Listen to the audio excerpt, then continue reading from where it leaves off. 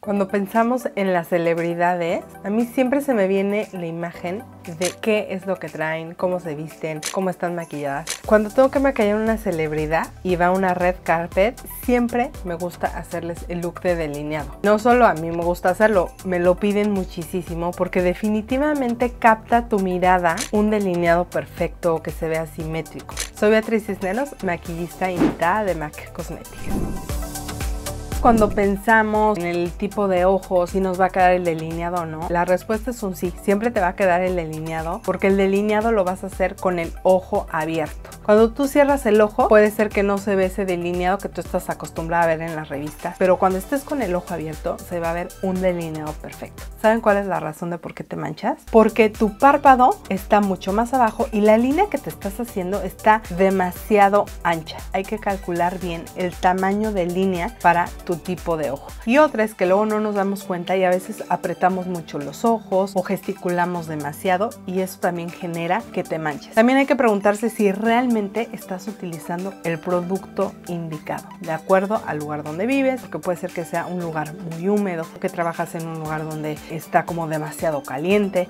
de acuerdo a qué tanto gesticulas. Y otro factor que a veces también nos preocupa muchísimo es la simetría. Y ahorita te voy a dar varios tips para lograr que realmente ese delineado se vea de red carpet.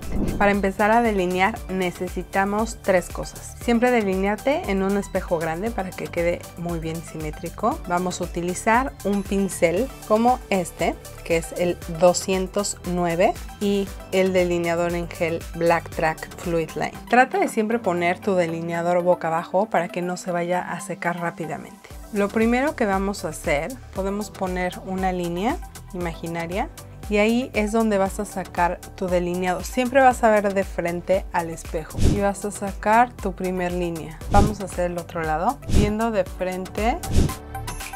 Básicamente aquí ya tenemos el delineado. Ya no vamos a tocar la punta. Me voy a jalar el ojo. Lo voy a definir un poquitito más. Pero vean, de aquí me voy hacia adentro.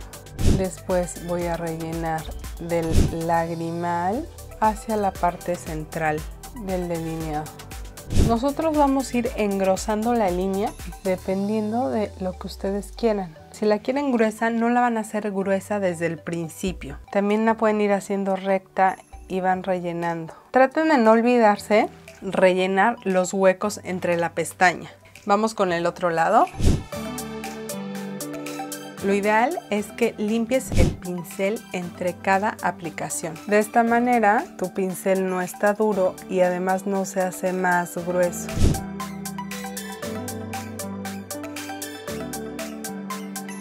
Ahí es donde tenemos ya el delineado listo. Como ves, es un producto muy fácil de aplicar, que además me gusta porque no se transfiere. Dura muchísimo, incluso aguanta que llores, en lugares donde hace mucho calor resiste.